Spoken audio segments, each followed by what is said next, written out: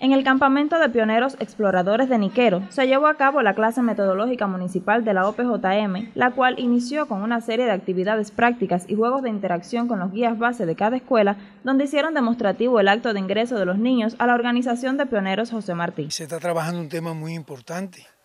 que es el tema de los pioneros exploradores, todos los elementos que encierra este movimiento que están relacionados con los procesos fundamentales de la organización de Pioneros José Martí, con el proceso eh, asambleario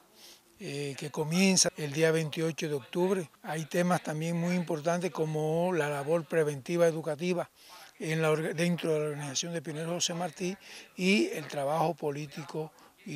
el momento fue propicio para exponer diversas motivaciones y prioridades para el presente curso, además de las estrategias para fortalecer la formación de valores en los niños y acciones que permitan la preparación con calidad en los pioneros. Hoy, los estudiantes tendrán más participación para la toma de decisiones en las escuelas, por lo que se busca seguirlos incentivando en sus destacamentos en las actividades culturales, deportivas y académicas. Aquí los guías base de cada institución quedan capacitados de todo eh, el plan de trabajo que va a tener esta organización eh, durante el curso escolar 2024-2025. Tenemos funcionarios de la provincia desarrollando temas prácticos, capacitando bien a estos guías que más tarde ellos van a replicar toda la información que se van a llevar en el día de hoy para eh, ponerla en práctica en todas las instituciones educativas, donde desde los primeros grados son miembros de esta organización, se dividen en pioneros moncaditas y pioneros José Martí. La preparación metodológica de los docentes es vital,